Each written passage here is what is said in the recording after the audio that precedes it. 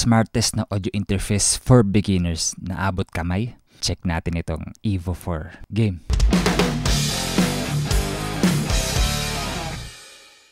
Check, sound check. Ako si Sepi at welcome sa 7 Trumpet kung saan pag-uusapan natin lahat ng tungkol sa Pro Audio Gears, tips, tutorials at kung ano-ano pa.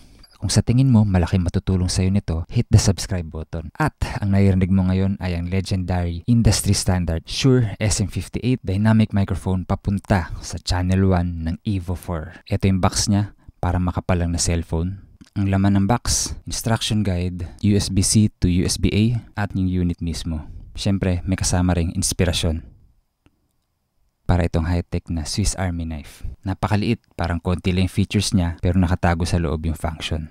Sa ibabaw, merong isang phantom power. May button 1 for channel 1, button 2 for channel 2, smart gain na i-discuss ko mamaya. Itong dambuhalang knob sa gitna na merong napakaraming functions, LED meter na napakarami ring functions, monitor mix or pan button, at main volume button.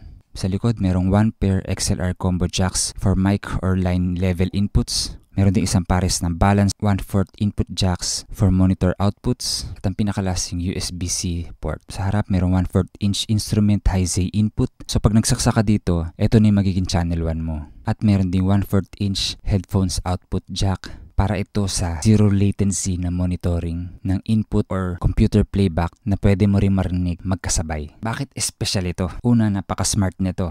Pwede mo pindutin yung button 1 para maselect mo yung channel 1 or button 2 para maselect mo yung channel 2 na walang naka-input ngayon kaya hindi rin umiiraw yung LED meter niya. Kung ano man yung nakaselect mo na channel, halimbawa ngayon channel 2 ay pwede mo nalagyan siya ng phantom power o i-adjust yung gain gamit tong knob na nagsisilbi na ring gain knob niya at i-mute yung channel sa pamamagitan ng pag-hold sa pagkapindot ng button. Pwede mo rin pindutin sabay yung 1 and 2 para maging stereo link sila. So pag in-adjust mo yung gain knob, pareha silang mag adjust Malalaman mo rin na nakamute ang channel dahil nagbi-blink yung number. Isa pang smart eye ito dahil ginagawa niyang monitor mix or pan itong dambuhalang knob sa gitna Pangalawa, meron siyang feature na wala sa kahit anong audio interface sa market ngayon. At ito, yung Smart Gain feature. Isa sa masakit sa tenga ay yung clipping distortion. Ito yung basag yung tunog. Nangyayari ito kapag hindi na set ng maayos yung gain ng isang preamp. Sa mga beginners, napakaganda na pag-aralan kung paano mag-set ng gain sa isang preamp. Pero napaka-smart ng interface na ito dahil sa smart gain, siya na magsaset ng gain mo matic. So i-demo ko kung paano gagawin. Pindutin ng green button, pumili ng channel. So ang gagamitin natin na channel ngayon, itong channel 1 kung saan nakasaksak itong SM58 para ma-engage yung smart gain feature picture ay pipindutin ulit natin itong green button. Pag pinindot natin itong green button, mawawala yung tunog niya. Pero patuloy ako magsasalita or sa case ng iba, tutugtog para makalculate niya kung ano yung tamang gain. Pindutin na natin. So ngayon, nawala yung tunog niya. Ang ginagamit natin ngayon ay yung microphone ng camera. Pero patuloy pa rin ako magsasalita para makalculate niya kung ano yung tamang gain na gagamitin para sa boses ko at depende rin sa sensitivity ng microphone. So ngayon, nakaset na siya ng tamang gain. I-check natin kung gaano kalakas niya sinit. Halos full dahil mahina yung boses ko at the same time hindi sensitive ang SM58 na microphone. Bakit special ito? Pangatlo, dahil pwede rin siya magamit para mag-record ng audio loopback galing sa iyong computer. At bakit special ito? Pang-apat, ito rin yung pinakagusto ko. Ang mura niya. Ang ganda ng features niya, pero nagawa nilang mura yung presyo niya. Dahil tingin ko, nabawasan nila ng knobs, ang smart ng pagkakagawa, naging smart din yung presyo niya. Mabibili pala ito sa stores ng Guitar Pusher. Ngayon, bakit hindi ko ito bibilhin? Isa lang, kung mahilig ako sa old school design, nakita lahat ng knobs sa harap, hindi para sa akin ito. Okay, smartest interface sa murang halaga. Sige, tawagin ko yung asawa ko para maparinig ko sa inyo ang tunog nito. Iyam, humayo ka, pagsilbihan mo ko. Tara, pakinggan natin.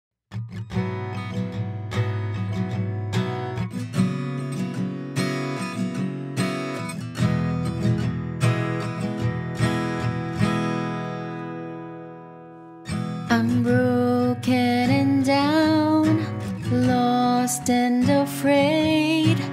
Lord, I come before you, make me whole again.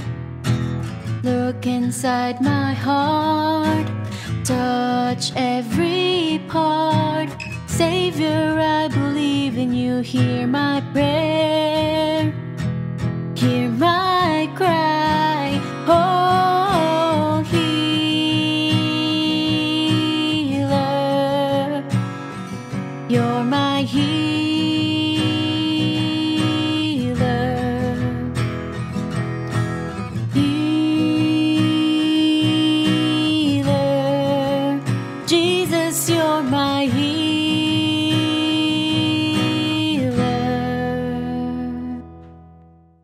Pwede ka mag-comment sa baba kung meron kang questions o kung meron kang gustong i-share na tips. At kung nagustuhan mo yung kanta, nilikha ni Kuya Kirby ng Fired Up Life. Pakilike din ang video kung nakatulong ito sa'yo. At marami pa kaming videos about audio interface kaya mas maganda kung makapag-subscribe ka. Pakitap na rin yung notification bell para ma-notify ka. Rock and roll!